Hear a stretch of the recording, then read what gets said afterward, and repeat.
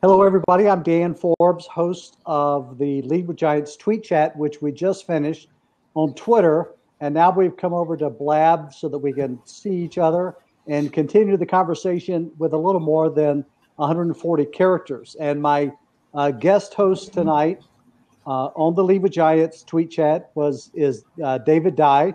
So, David, introduce yourself uh, to us here on Blab. Well, hello, and uh, we've got people from all over the world there in the tweet chat, so probably here as well. So, good evening, good morning, good afternoon, wherever it might be for you. Right. Uh, so, my name's David, and uh, I work with leaders, managers, supervisors who want to uh, get their team to the top without losing their soul or their mind in the process. And do that in a lot of different ways. Do keynote speaking and training, uh, leadership coaching, consulting, and so forth. Great, thank you. Um, I miss my mind. Is all is all I can say. Uh, so it's interesting that you describe it that way. So uh, uh, Scott, Daniel, um, uh, Raven, anyone else like to take a seat, and we'll get our discussion going here. So we on the tweet chat we were talking about metrics madness. Um, what made you come up with that topic as a suggestion, and how does that relate to the work that you do, David? Well, sure. The uh, uh, actually the the topic came from the third chapter of a new book that I have coming out in April, and uh, co-written with Karin Hurt from Let's Grow Leaders. And when we were discussing what it means for a leader, for a manager to lose their soul, uh, the uh, one of the ideas that kept percolating up was that in today's data-driven economy, measurement is important. It's not going away, and everybody in the tweet chat started with that acknowledgement that Leaders define what success looks like and how we're going to get there. And yet, there's a trap. And that trap is that when we focus on the measurement to the exclusion of the people and we don't have a good, healthy balance, uh, we end up losing our soul, getting frustrated, bitter, losing our connection with the people. Uh, you can get into the, the gaming of systems as opposed to playing the game, like we were talking about in the tweet chat. All those sorts of things happen. So that's what uh, prompted the, the idea for tonight's tweet chat. Okay. Yep. Thanks for that. I'm going to change the topic here. Notice uh, it's one of the questions that we uh, that we put out in the tweet chat, and that is how important are metrics. Mm-hmm. So, going from a solopreneur up to you know the largest companies in the world, how important is is, is even metrics uh, for even the solopreneur up to uh, up to those large companies? Mm-hmm at, at a fundamental level, it's got to be important, right? If you don't know what you're doing, if you don't know what success looks like, if you don't know what determines if you're successful, you have absolutely no way to know if you're going the right direction. So, at the most fundamental level, feedback is a sign that if you're driving down the highway and you mean to be going to Toledo, and it tells you that uh, Dallas is, you know, a couple hundred miles that way, you know you're going the wrong direction. At least if you're from my neck of the woods in the middle of the country. Uh, and so that's measurement. And so measurement is very, very important to have some idea of where you're going and how you know if you've gotten there. Yep. Excellent. Uh, I, I love that answer. And uh, having a roadmap or using a roadmap or GPS and having mm-hmm. milestones uh, along the way uh, helps me, helps me to get uh, to where I need to go. Yeah, I love that you used the roadmap analogy when you know some of our younger viewers. What's that? Right? What's a road? What's a roadmap? And the world is changing. I don't have a paper roadmap either. I always hated those things because they never could fold them. I tell you, I, I still have an atlas, a paper atlas in, in my SUV because every once in a while I'm I'm out of cell phone reception, so gotta have that backup. Okay, so uh, here's here's here's another question that we had. Uh, by the way, if anyone would like to take one of the open seats and join us here as we have some uh, continued discussion from the uh, uh, with Giants tweet chat, feel free to do so. Here comes uh, here comes Scott. Welcome. Hey Scott. hey, Scott. Good to see you. Hey, good to see you guys. David, thanks for sharing. Yeah, absolutely. Welcome. Glad you could be here. That. So, Scott, did you jump in with a with a thought you wanted to share, or just join the conversation? You know, it was. Um, it goes back to when I was running a, uh, an agricultural company. We focused on soil microbiology, and we had a uh, a lab. And I remember being on the phone and actually trying to talk people out of buying one of our lab tests. Because as you were talking to them, they they didn't know why they were buying the test. Really, they were mm-hmm. going to get these results, but then not really know what to do with it, right? So it, it didn't make sense because they're going to end up spending, you know, their time and effort excluded about $150 on this information that was going to do nothing for them. And so, you know, you really focus down on saying, why do you want to take this measurement? And it needs to be to drive behavior, right? Mm-hmm. So when you get the results, whatever metric it is you choose to measure, that if it's going to drive behavior, then it it is maybe that's a good indicator that it's it's helpful. That is, if you get results A, you take actions A. Results B, you're going to take actions B. If your actions are going to be the same, regardless of what that metric is, time, energy, effort wasted. Very well said. I, have got uh, a very recent analogy. Some of you know I missed the tweet chat last week because I was in the emergency room and uh, having a, uh, a, a gallbladder, gallbladder, attack, and uh, the next day emergency surgery to take it out. So, wow. Uh, of course, X-rays, CAT scan, um, ultrasound, blood tests, all these things going on to find out. And I'm glad they did those things all right, first of all, is this an obstruction? Is this an aneurysm in this mm-hmm. guy's gut that could kill him here in a few mi- minutes? Because I'm, you know, crying like a baby on a gurney and uh, with tears streaming down my eye because it was so so painful. But they were they were measuring things, right? So when they took the test, they came back, they looked at the results, they looked at the metrics, then decided what had to be done, and you know, so uh, so so I'm alive today. So they got the I got the I got the results that uh, maybe didn't weren't the most desirable, but certainly what I needed. Hey, I noticed over there on the side, uh, Lou says, uh, "Excellent chat tonight." As a policeman, couldn't help think about police ticket quotas during the whole hour. I'd love to hear more about that, Lou. Come on and, uh, and take a seat. Uh, I got pulled over by a Texas state trooper last Sunday, and it's the first time I've been pulled over uh, in years and years. I haven't gotten a ticket in in decades. Haven't and, been caught. And I was I, I, didn't say that I haven't exceeded the speed limit. uh, my policy is to keep it below 10 miles an hour over, which I violated uh, last Sunday and got pulled over going 82 in a 70 uh, uh, mile per hour zone. Fortunately, uh, Lou, maybe he already had his quota because I ended up with just a verbal warning not even a, a written warning. So I appreciate that. So this thing about quotas, would love love to hear more about that. So the question now uh, that we threw out in the chat is: Can you measure everything that matters? Do you need to measure everything that matters? Hmm. Uh, it was uh, intriguing the the response. Is that a trick question, David, that you came up with?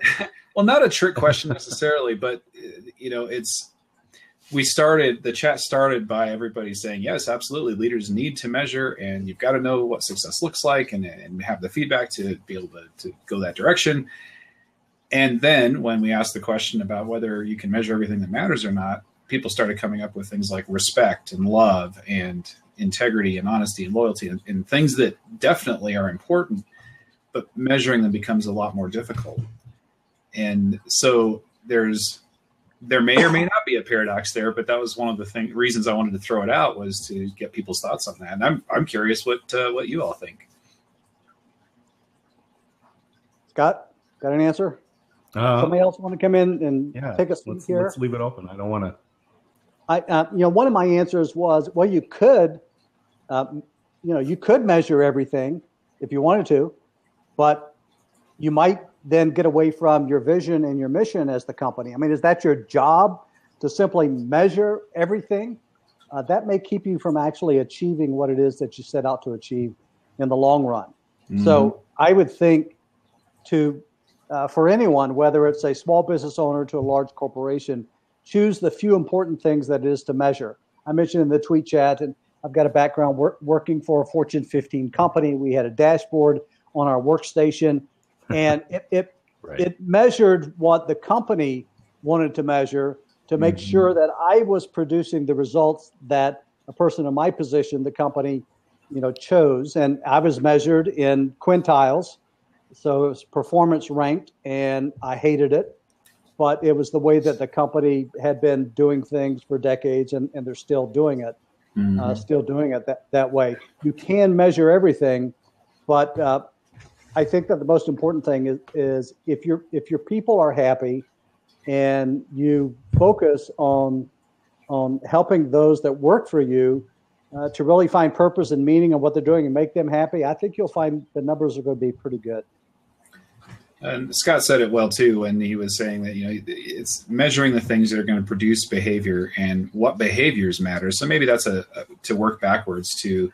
Yeah, you're absolutely right. You can measure a thousand different things, none of which are meaningful or are tangentially meaningful. But typically almost any kind of business any job that we're doing there are somewhere between two to five key things that we can do that are going to produce the, the results we're looking for and those are the things to keep an eye on and people can't concentrate on more indicators in that anyhow hey lou hey yes. there's lou uh, and little, catherine little, catherine little. had a, a comment too on the side let me just bring that up she says every metric drives a behavior and you need to think is it a behavior that you want or is it misaligned with what you're trying to achieve. Mm-hmm. And there's a there's a great story um, from Edwards Deming um, talking about a, a particular shirt factory where they were given quotas. They had to make so many shirts of each of so many sizes within their eight hour shift.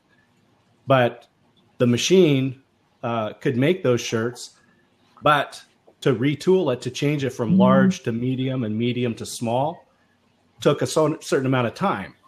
So the physical capacity of the tool was no longer capable of reaching the goal. right? Yeah. So the people were being measured on you have to meet this goal or you will be fired, essentially. So uh, it turns out changing the labels took almost no time. So when they went from large to medium, they changed the labels. There you go. That's a perfect example of gaming the system as opposed to being able to play. Absolutely, yeah. So the system will uh, produce what it's designed to produce. So in this case, it was mislabeled shirts.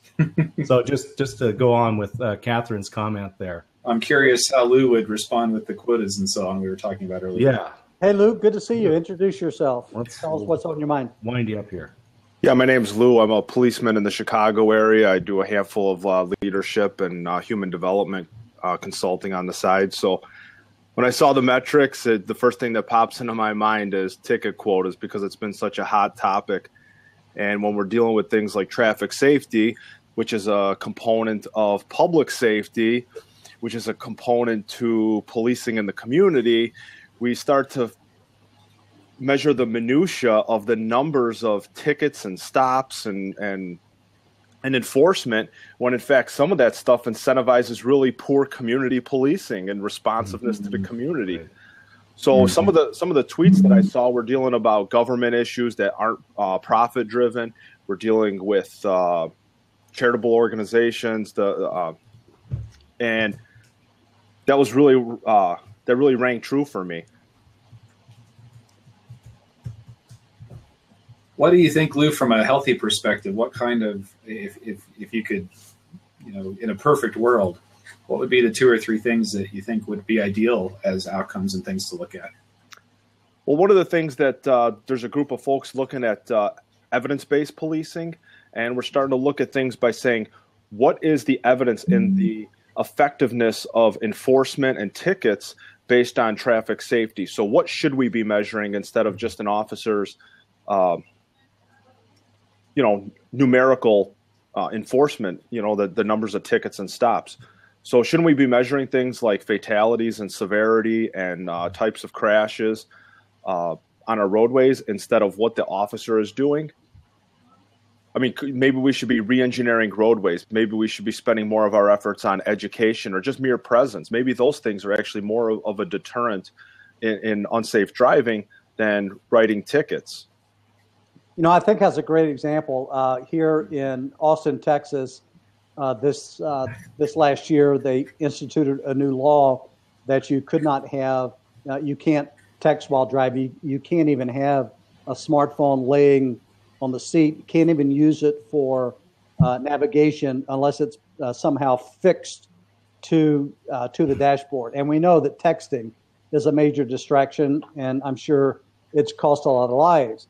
What I've heard, though, in some initial studies, not only here but in other places that have instituted that particular law, that they've actually seen accidents go up because now people are hiding their phones down in their lap, oh, and no. so they're actually looking down for a longer period of time while sending a text than they were when they were able to hold it up. You know, it's sort of look look while they're driving. Sometimes the unintended consequences uh, can, you know, can come into play there. Not only regarding laws, but uh, I would think regarding metrics. David, would you say that so? Unintended consequences yeah. of maybe uh, a focus on the wrong metrics or giving that wrong signal, like like the shirts we were saying a moment ago, that just sort of uh, creates chaos.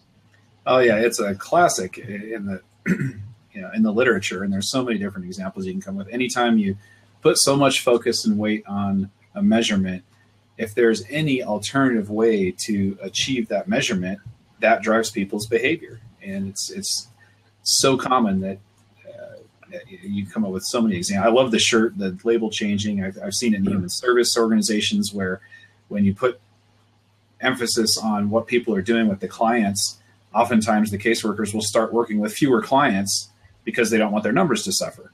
And that's not the desired outcome. You, you see it in all different sorts of ways. Right. Well, I was in financial services, so they were measuring, you know, revenue that I was generating from clients. Which, if I were to focus only on generating revenue and not on the needs of the clients uh, that I was serving, might be serving what the company wanted, but it really wasn't perhaps something that was best for the client. And that could lead it, uh, in an industry like financial services where people are only you know, chasing the dollar and actually taking advantage of clients.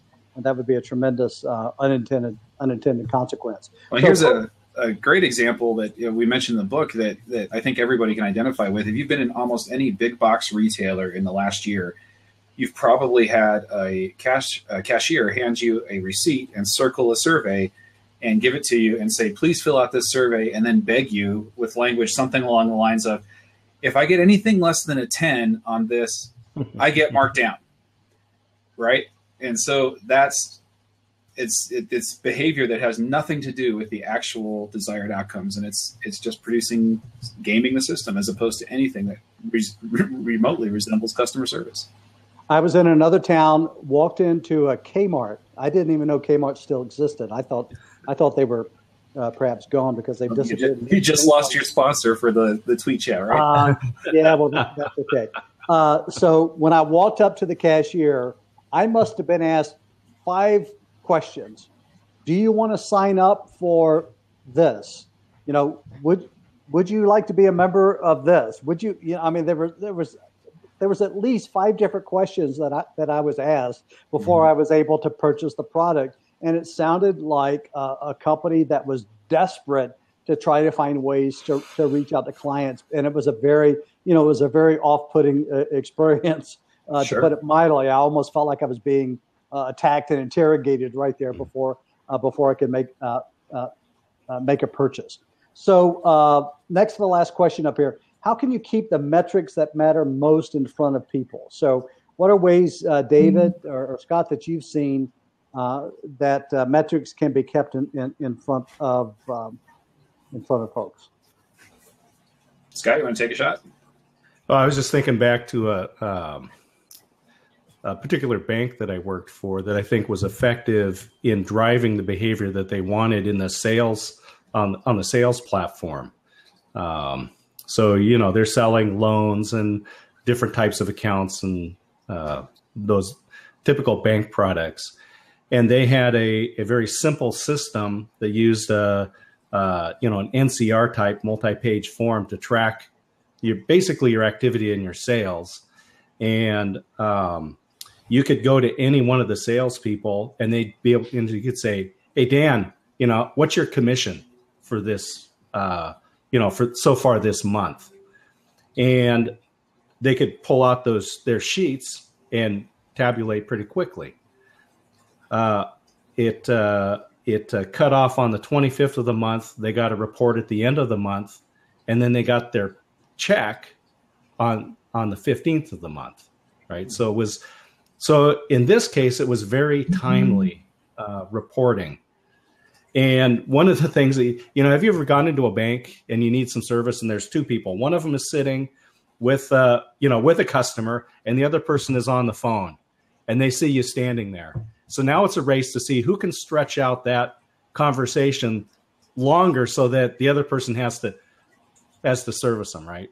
Mm-hmm. So they're just like, oh, "Okay, David, we uh, we talked about your account today and how it's going to benefit your children and blah blah blah." You know, kind of stretching. And they're on the phone, going, "Okay, now let me see. Let me check your address again because uh, Dan, I need to mail this out to you, right?"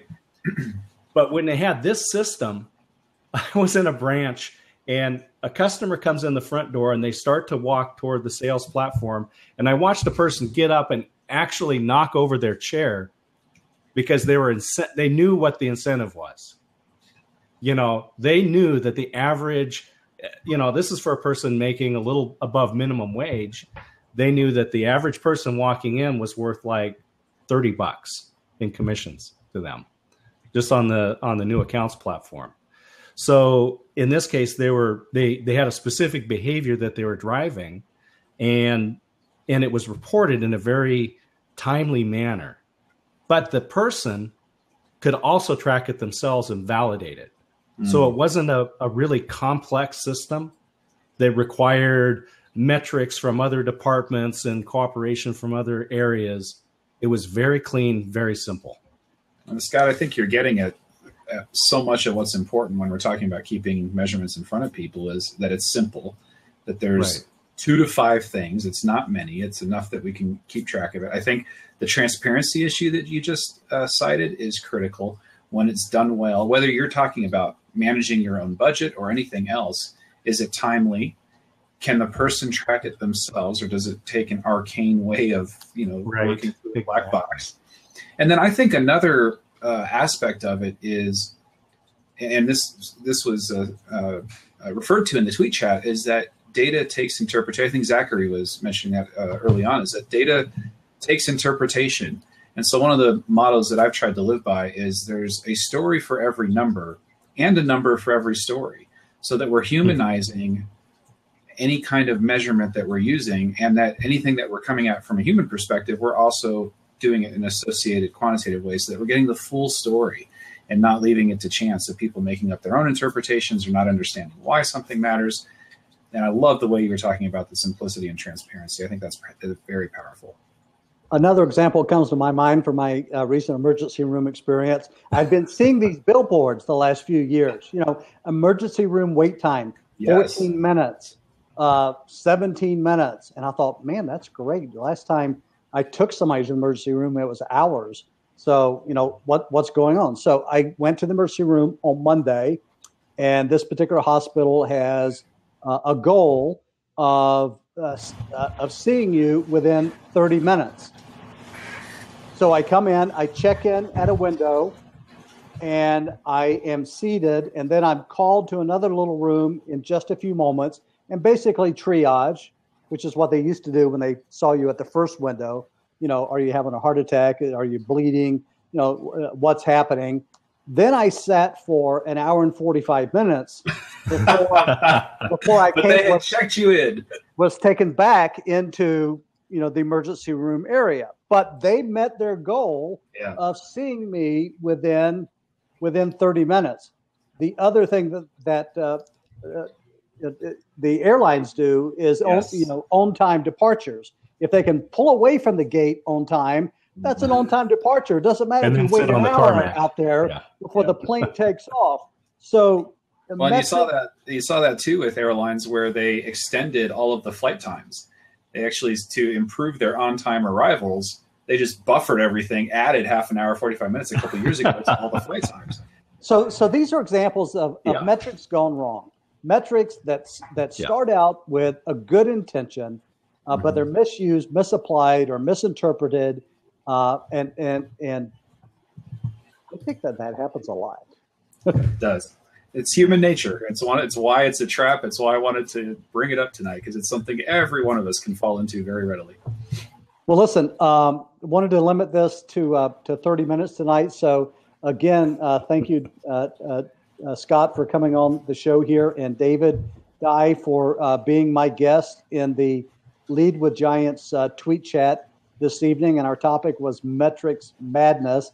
And I'm going to put that in the box here as the topic one last time because when I stop the recording, it will uh, that that will be the title that's given to it. The with Giants tweet chat every Monday, 6 p.m. Central Time, which is 7 p.m. Eastern Time, and what is that over there Pacific Time, Scott? 4 p.m. Uh, if, yeah, 4 p.m. for the tweet chat. Yeah. Okay. I just asked people to fig- figure it out for themselves. So uh, let me stop the recording again. Thank you, everyone, for joining Lead with Giants. Thank you. Dan. David, thank you for sharing.